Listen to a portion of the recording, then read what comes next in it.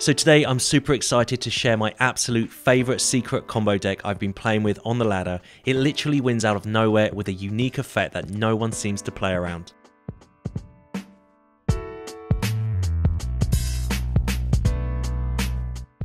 Hey everyone, Hex here, and I've won with a giant goose, some unblockable otters, but today we are flinging massive rabbits straight at our opponents. You don't want to miss this one. I'm still super hyped for this new set, so if you haven't yet, go ahead and hit that subscribe button below to not miss out on future videos, and feel free to let me know if you have any synergies or combos that you want to see. As always, I really appreciate all your support for this channel. But onto this deck, and it's a double combo special today. So let's start with the main one I have, and it's using Regal Bunnicorn and Voldaren Thrillseeker. Now, this tiny rabbit is a 2-drop star-star creature whose power and toughness are equal to the number of non-land permanents you control. So on its own, it's likely just a 1-1, not doing much, sitting there quietly, but our whole deck is crammed with ways to boost its stats, some at instant speed.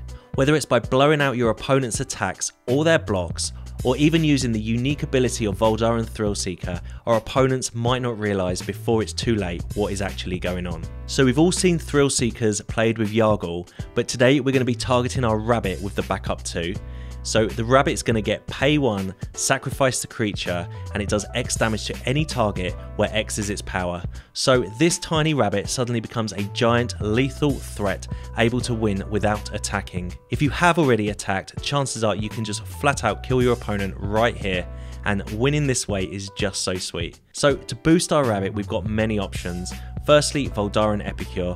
Playing this on turn 1 means a 3-3 turn 2 rabbit, so it's great here in our 1-drop slot. We've got Resolute Reinforcements that for instant speed can create 2 1-1s that will obviously boost the rabbit by 2 at instant speed. I do love playing this if your opponent targets the rabbit though with a cut down or a play with fire. We have wedding announcements which are just great in this deck. Uh, you will see from my first game how amazing this can work with a rabbit and Thrillseeker if you can time the fling just after the announcement triggers its third phase but before your turn passes. It's one of my favourite games I've played with. You'll just have to watch it to see how effective it can be. Other token payoffs in this deck include Virtue of Loyalty. It's a new card that has the adventure Ardenvale Fealty which is a 2 cost instant that creates a 2-2 knight token, again potentially boosting your rabbit at instant speed, and for 5 you can cast it as an enchantment that says at the beginning of your end step, put a plus 1 plus 1 count on each creature you control. Untap those creatures. So this is definitely a great plan B if we're down to winning with just tokens smashing each turn. I've also got another enchantment in Rabble Rousing. I'm always so impressed with this card every time I play it. It enters with Hideaway 5, so you get to look at the top 5 cards of your library, pop one in exile under the Rabble Rousing. It then basically doubles your attacking creatures, and when you have 10 or more creatures, you get to cast that card for free. There are some sweet synergies in this deck, but if you're attacking with a giant rabbit, the opponent blocks it with maybe a 1-1, uh, surprising them with instant speed trample from under here, or a Thrillseeker is another way to normally immediately win this turn. I can't play Rabble Rousing without Devilish Valet. I've made videos about this card before, but this is the second combo in the deck. Devilish Valet can quickly get enormous as its power doubles each time a creature ETBs on your side of the board. It has trample, it has haste, uh, pair it with Thrillseeker, and I think you can see how amazing this can be here. As it's a token deck, we've got Adeline and Mondrak, both amazing cards, both so strong in their own, both perfect here. I'm also playing Return Triumphant. It's another new card that returns a target creature of mana value 3 or less to the battlefield from your grave with a young hero role attached to it. 99% of our creatures can be brought back here and the young hero role is great attaching to your rabbit too. Bringing back the resolute reinforcements nets you 3 non-land permanents as well. Speaking of auras attaching to the rabbit, we have Monstrous Rage.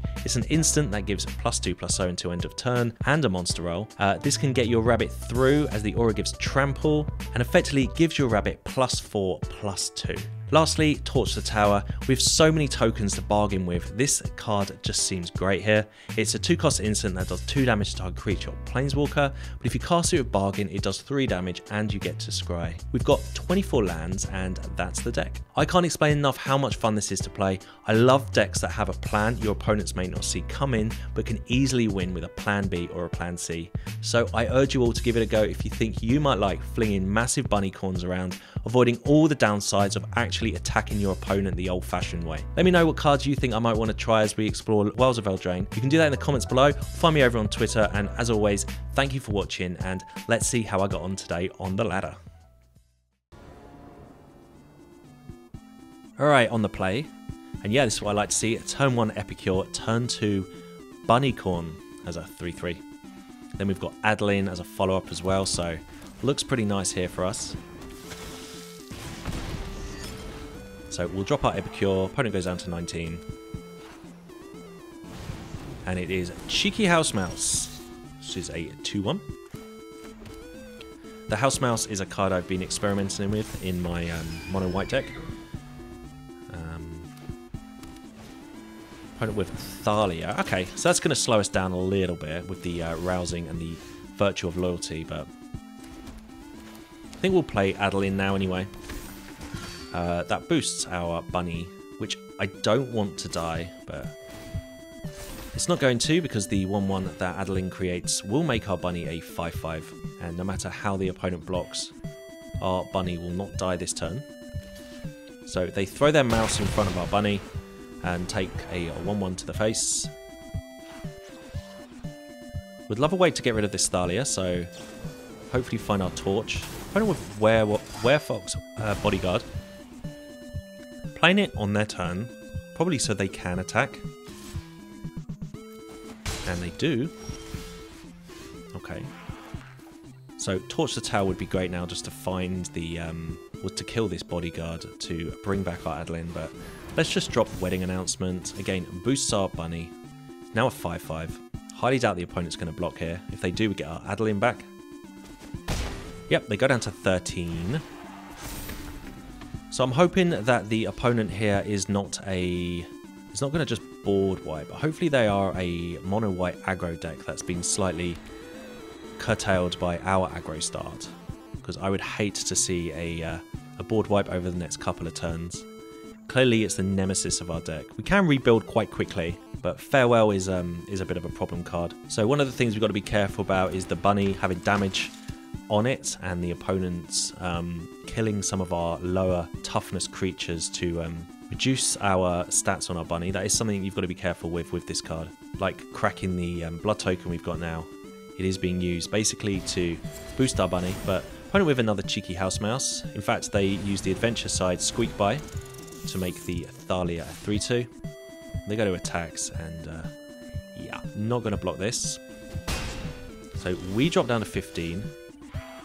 There is a Thrillseeker I think the best action we've got now is we can attack with the bunny because we can play the virtue of loyalty. Um, we can create basically a 2-2 at instant speed. So if they were to triple block here, they would lose all their creatures. Um, if they don't block, they could potentially go down to 6, depending on what we do. But with the Thrillseeker, if they do take this damage, I guess we can just play the Thrillseeker uh, post combat and fling the bunny, which would have a which would be a 9-9 at that point, straight out our opponent's face for lethal. So they do block with their creature, saving their house mouse. But yeah, our um, wedding announcement creates another 1-1, so our bunny's now a 7-7. Extraction Specialist is going to return that, I guess, to the battlefield. There it is. The so that was a recruitment officer. Back to the battlefield. Now I think we have lethal. I think we should be able to make the bunny a 13-13 next turn. So we'll play this Virtue of Loyalty, and I really hope they don't have a removal spell in their hand, but... Okay, so our bunny is now an 8-8. Okay, there's a Thrillseeker. So we have Lethal here. Um, if you can spot it. The uh, Bunnicorn is going to suddenly become a 11-11 uh, now. Okay, it is an 11-11 now, and it does have the activated ability of um, the Thrillseeker. So we can go to attacks. We're not going to attack. I'm going to put the game in full control so that it doesn't fly away from me. Okay, and uh, no attacks here. We need to keep all our permanents on the board. And uh, make sure we're in full control as we end our turn. Wedding announcement triggers, we create a 1-1. Uh, it becomes a 13-13 when the wedding announcement turns the festivity, and we can just fling it straight at our opponent. Excellent. That's what we're here to do. Alright, on the play here. Uh, pretty nice hand. Uh, I mean, very tokeny. So we'll keep this. We even get to play our turn one tap land. The Bivouac. Put it with Rugged Highlands and uh, says go. So this is ideal for us. We can just uh, play our reinforcements at the end of their end step. And they have a Rabbit Battery and the Epicure. I wonder if they attack with the Rabbit Battery here. Obviously has haste.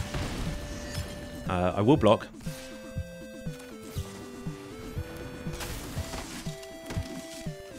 So you want to block with the uh, actual creature, as we have ways to bring creatures back from the graveyard. We find another reinforcements, alright, not a problem. I have a feeling I know what deck the opponent is playing, but we'll uh, just see what they do now. But yeah, that was an ideal time for us to play our wedding announcement. Get that moving. Okay, another Epicure. We go down to 18. And uh, they sacrifice their blood token. Maybe looking for a one drop or a way to uh, deal with some of our creatures. It's Gleeful Demolition on their blood token though. So they suddenly have five one ones. I'm pretty certain they are an Imperiosaur deck. Uh, not going to be too much I can do if they uh, manage to cast that. But uh, what we can do in the meantime is just continue building up our board, and we'll do that with both our Resolute reinforcements. The uh, Invigorating Hot Spring here for our opponent. Uh, they're going to start putting counters on their creatures. But yeah, we'll just make a couple more 1-1s. And I mean, the end of your our next turn here, the wedding announcement is going to make these all 2-2s. Another land, okay. So we'll drop Adeline. And uh, I don't really want to attack. Well, we might think about attacking now. Opponent gives us the nice. So even if they were to cast their Imperiosaur, uh, I don't think we're dying. And the opponent has to be very careful they don't die on the crackback. But it's Rebel Salvo for our opponent. And reinforcements here makes a couple more 1-1s. So I'm not entirely sure if that is their deck, but I've played that deck before, and these are the kind of cards I would play in it. But we did kill their haste creature um, at the beginning, which is what kind of gave it away for me. But we're kind of flooding here. This is a really weird board. Tokens on tokens.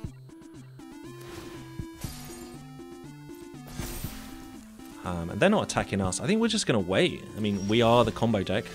that is our fourth reinforcements there.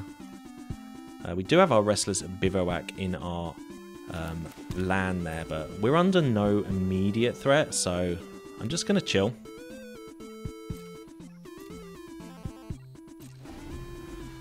Yeah, this is a really weird game. Another hot springs for our opponent.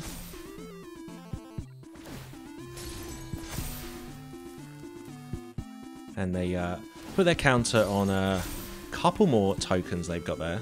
But they're not attacking, so I don't mind this. We'll play our reinforcements, so we have a whole bunch here. Whew, there is a Voldaren Thrillseeker. So whether we play that now, or we just hold it in case we can find a bunny, I think it might be best just to wait. Playing it now doesn't really do much. If opponent had a lower life total or we had Adeline on the board, I think it would be better. But um, Okay, there is a bunny. Excellent. Alright, well, we'll play this bunny. Comes down as a 13-13 creature. And I think we are just going to Thrillseeker here. Targeting the bunny. And becomes a 16-16. We'll smash him in the face with that. And then um, we'll go to attacks. We have 10 attackers. They have uh, 9 blockers. So they're going to lose their entire board. Um, and we're going to have some creatures left over for next turn. So I think this is a kind of lethal attack. Yeah, they scoop it up. That was an amazing little win there. Alright, on the play. And I mean, this is one of the most perfect hands. If we had the uh, Thrillseeker, sorry, the uh, Voldaren Epicure as a turn one play, I think it would be better. But we get to play our Restless Bivouac turn one. I hope I'm pronouncing that right. Opponent with a fortified beachhead, uh, showing us their frontliner, so probably up against soldiers. So you've got to expect this uh, Bunnicorn is going to be okay for this turn. I guess Thalia is probably a card that is going to be pretty bad against us. But we'll just deal with that as and when. Opponent shows us uh, their reinforcements in their hand. And clearly not going to block this. And they uh, pass their turn. Well, they clearly obviously have the reinforcements. So probably don't want to attack. We'll play Adeline though. Okay. They got Okay, it's make disappear. Alright. Well, I guess that stops them from playing their um, reinforcements, but we do have Return Triumphant for next turn. That is going to bring back Adeline.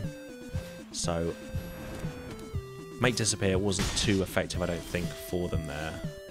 But they played Tocasia's Welcome.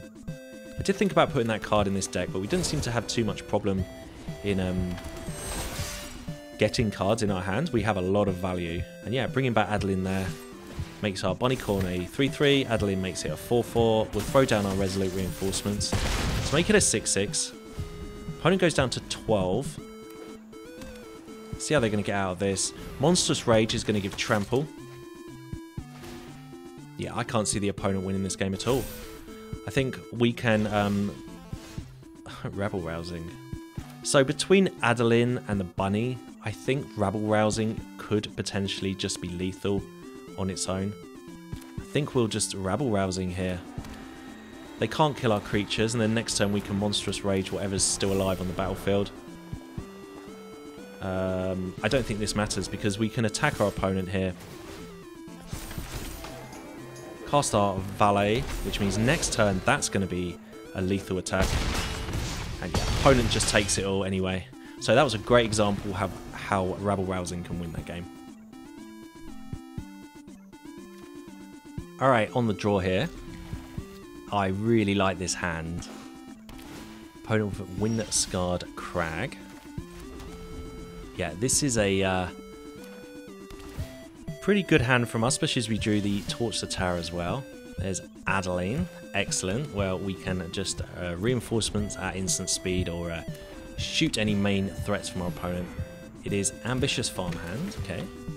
So maybe some kind of control deck.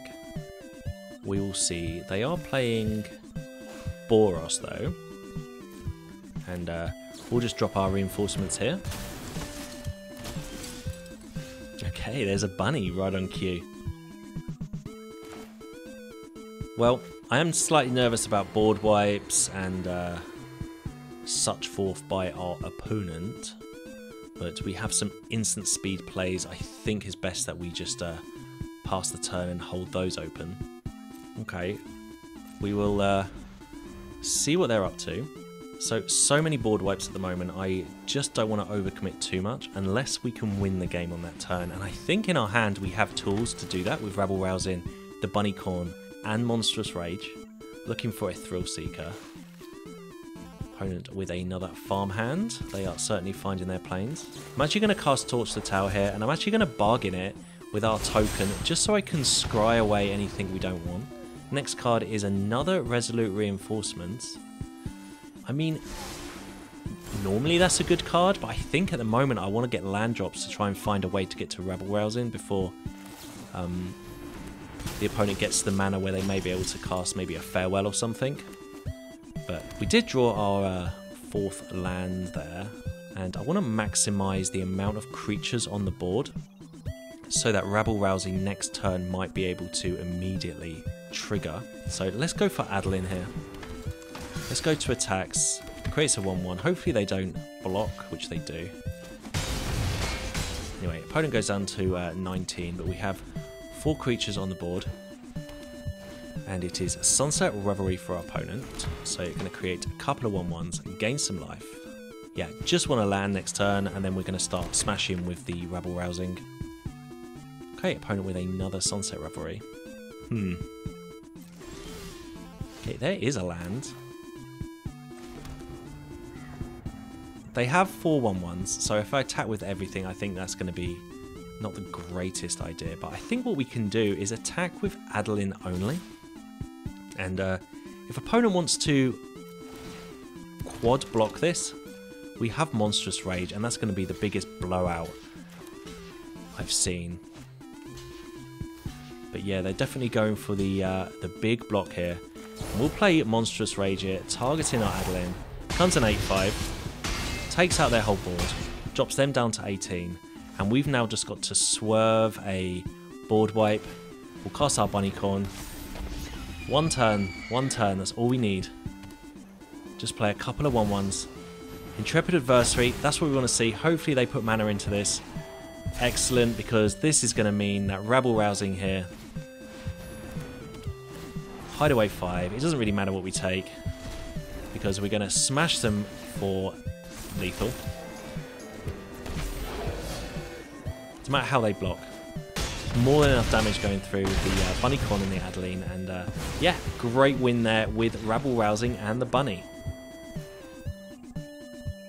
Alright, on the draw, uh, we do have a Torch the Tower here, so this looks like a keeper. We can deal with any early threats, and uh, if we need to bargain this, we can use the Virtue of Loyalty to do that. So, let's see what we're up against. An opponent with a Selesnya land and Secluded Courtyard, and they name humans, so looks like we're up against a human deck. Can't Torch Melira, unfortunately think in that case, we'll be as mana efficient as possible. We'll play our bunny, and then next turn we can maybe Virtue of Loyalty and Torch the Tower. Um, opponent with Adeline. And uh, they go to attack, so we're going to have to take that, unfortunately. 4 damage. And we find our Epicure. Okay, well, I kind of want to get Epicure down because that will um, make our Bunnicorn a 3-3. It will allow us also to torch the tower if we absolutely need to. Um, or we could play the Virtue of Loyalty to make a 2-2. But then our Bunny is just a 2-2.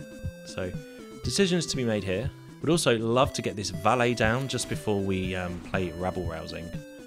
I wish the opponent wasn't so aggressive because uh, that could be the little combo that we could uh, get going here, but Got to make sure we don't die in the meantime. So we will... I guess we just sit back. We could attack with the bunny, but I think it might be better on defense. Maybe we can just block Melira instead of um, hitting it with the Torch Tower. Opponent with Intrepid Adversary. Okay, well, that is an annoying card for us to see. But I guess we'll let that resolve and then we'll just shoot that and we don't need to bargain anything to do that with. So I'm going to do it pre-combat. Maybe it means that they don't attack us. We'll see. Also, this could mean that they sacrifice their Melira now. Their team drops because the adversary is now off the battlefield. And they get in there with Adeline and Melira. Okay, so we have a double block here on Adeline if we want, but they would just sacrifice their Melira. I think we'll just take seven. Really need a land drop though. Land drop so we can double spell. The two um, Virtue of Loyalties would be nice. Okay, Monstrous Rage. At least we can still double spell here with the um, Virtue of Loyalties 2-2 and the Monstrous Rage. Okay, we might be able to um, kill this Adeline with the Bunnicorn here by attaching our Monstrous Rage, making a 2-2. Opponent with uh, Coppercoat Vanguard. Oh, and there's Thalia. Okay, well, we're going to have to play out our spells here. So, Ardenvale Fealty, create a 2-2 White Knight with Vigilance, White Knight with Vigilance. We'll play our Monstrous Rage. It's going to target our biggest creature, the Bunny. It is now an 8-6 until end of turn. Unfortunately, would die to Adeline. So yeah, this game is kind of getting away from us slightly because we have been slightly missing land drops. Well, we've missed a couple of land drops and we haven't just been able to get going. But imagine us having the rabble rousing and the valet. Yeah, that would have been nice. Okay, well, I don't think we're going to win if we lose our bunny. So we'll block as we can. We'll go down to five here. And there is an Eiganjo. So I'm trying to see if there's any way we can win this game next turn. Playing the valet. We can block Adeline. We'll see how they want to attack. Hopefully they... Oh, they, they attack with everything. I was hoping that maybe they weren't going to do that. So we'll block as we can, but I think we're dead here. I don't think there was much we could have done in this particular game. yeah, we were just a little bit behind the uh, the very aggressive start here from our opponents. Um, Naya human deck, it seems.